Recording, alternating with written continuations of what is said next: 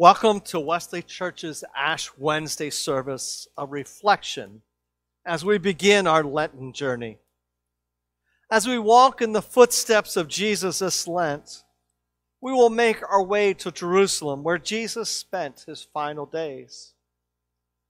But today, we begin our Lenten journey as we take up the practices of prayer, giving, and fasting, all helping us to draw closer to God. We hope this brief service today will remind all of us of our sinful nature and our need to cast off anything that stands between us and God. May this time help us to reflect on our relationship with God and remember that He is merciful to all who seek forgiveness and earnestly repent of their sins. My friends, let us come humbly before our Lord and worship Him. We implore you in Christ's name and on His behalf, be reconciled to God. The Lord's grace is freely given to us. Don't let it be in vain. Though he was innocent, he suffered for our sake. Let us honor this gift by becoming one with God and one with Christ's faithful disciples everywhere. Let us pray. Almighty and everlasting God, you hate nothing you have made and forgive the sins of all who are penitent. Create and make in us new and contrite hearts, that we may worthily lamenting our sins and acknowledging our wretchedness may obtain of you, the God of all mercy, perfect remission and forgiveness through Jesus Christ our Lord, who lives and reigns with you and the Holy Spirit, one God, forever and ever. Amen. In our first reading in prophetic language, the prophet called the people to return to God. That is, to repent and offer their sincere and complete allegiance to God. With sincere lamenting and a godly sorrow for their sin, the prophet calls for a fast, an entire change of heart. Listen now to our lesson from Joel 2, verses 1 to 2 and 12 to 17. Blow the trumpet in Zion, sound the alarm on my holy mountain. Let all the inhabitants of the land tremble, for the day of the Lord is coming. It is near. A day of darkness and gloom, a day of clouds and thick darkness. Like blackness spread upon the mountains, a great and powerful army comes. There like his has never been from of old, nor will be again after them in ages to come. Yet even now, says the Lord, Return to me with all your heart, with fasting, with weeping, and with mourning. Rend your hearts and not your clothing. Return to the Lord your God, for he is gracious and merciful, slow to anger and abounding in steadfast love, and relents from punishing. Who knows whether he will not turn and relent and leave a blessing behind him, a grain offering and a drink offering for the Lord your God. Blow the trumpet in Zion, sanctify a fast, call a solemn assembly, gather the people, sanctify the congregation, assemble the aged, gather the children, even infants at the breast. Let the bridegroom leave his room, and the bride her canopy. Between the vestibule and the altar, let the priest the ministers of the Lord weep. Let them say, Spare your people, O Lord, and do not make your heritage a mockery, a byword among the nations. Why should it be said among the peoples, Where is their God?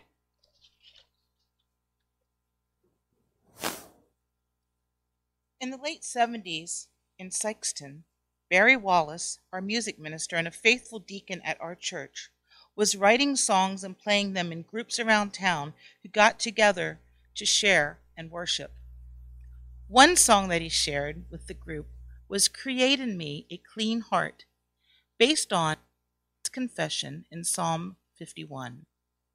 In 1983, the song appeared in a Maranatha Praise Song Collection. The author was listed as unknown. After the tragic loss of Keith Green in 1982, an album was released in 1984 titled Jesus Commands Us to Go, which included some previously unreleased recordings. One of the songs on that album is Create in Me a Clean Heart. This was the first released recording of the song and led to its popularity. Of course, everyone assumed that Keith Green wrote it, an idea that makes sense when you look back on the story. So then, without even trying, Barry got a song report, recorded by Keith Green.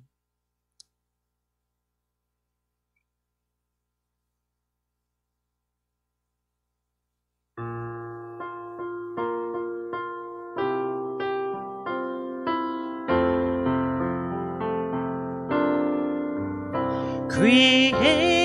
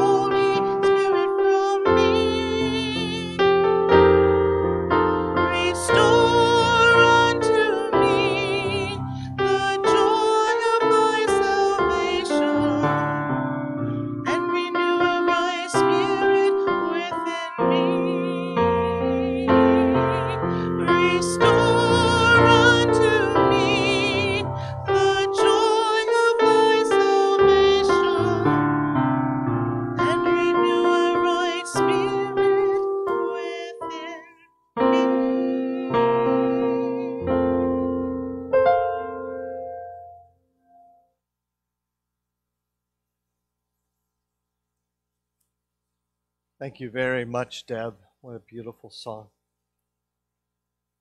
We hear now the source of that song. We look at Psalm 51. In its origin, it's a plea for forgiveness and renewal. The psalmist acknowledges our grievous sin and pleads for mercy. Furthermore, there's a desire for renewal and the restoration of joy in the sinner's life. Listen now to Psalm 51, verses 1 through 12. Have mercy on me, O God, according to your steadfast love, according to your abundant mercy. Blot out my transgressions. Wash me thoroughly from my iniquity and cleanse me from my sin. For I know my transgressions, and my sin is ever before me. Against you, you alone have I sinned, and done what is evil in your sight, so that you are justified in your sentence and blameless when you pass judgment. Indeed, I was born guilty, a sinner when my mother conceived me. You desire truth in the inward being. Therefore, teach me wisdom in my secret heart. Purge me with hyssop, and I shall be clean. Wash me, and I shall be whiter than snow. Let me hear joy and gladness. Let the bones that you have crushed rejoice. Hide your face from my sins and blot out all my iniquities. Create in me a clean heart, O God, and put a new and right spirit within me. Do not cast me away from your presence, and do not take your Holy Spirit from me. Restore to me the joy of your salvation, and sustain in me a willing spirit. It is right that we come to a time that we confess our sins. God calls us to own up to our mistakes, to earnestly repent of our sin, and to seek to live in harmony with each other. Let us be real with God and confess our sin to God and each other. Let us pray.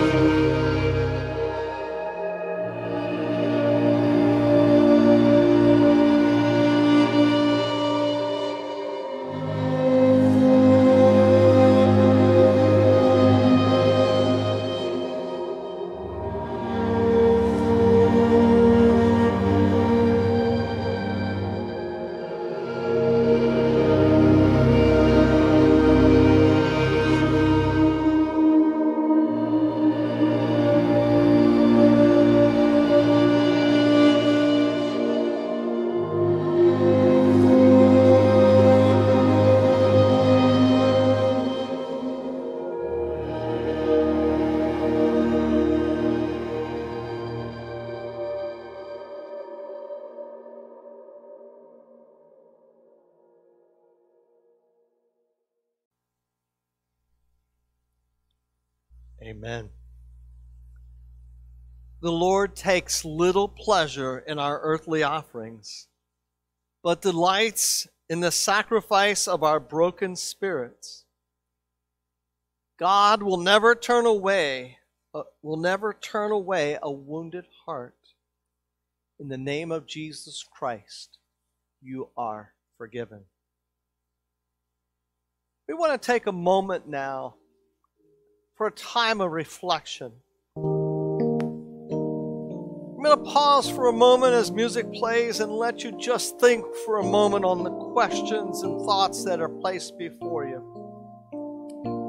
We begin by recognizing that God asks for our whole hearts.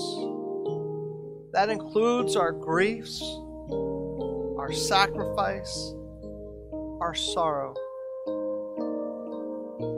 Take a deep breath. Visualize yourself. How do you come before God this year on Ash Wednesday?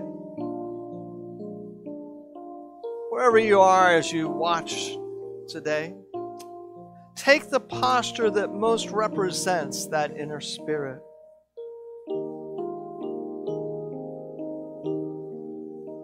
Now look look into the inner room of your heart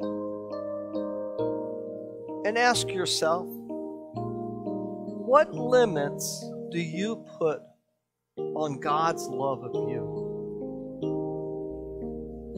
Do doubts, fears, heartbreak cause you to place limits on God's love for you? What limits are you putting on God's love?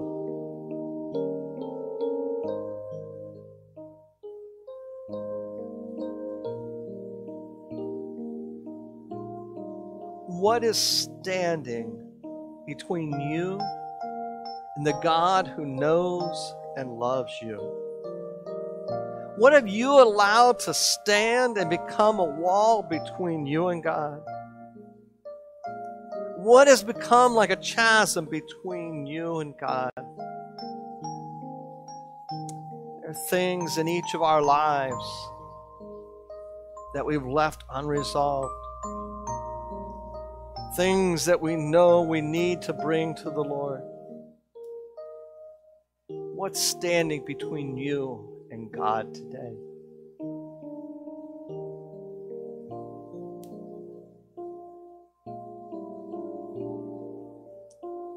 How will you use this Lenten season to remove your limitation on God's love? How will you use this Lenten time to move closer to God who made, love, and cares for you? How are you going to move intentionally? Closer to God. As we begin our walk with Jesus, retracing his footsteps to the cross and resurrection, I invite you this Lenten season to take up the spiritual disciplines of the season.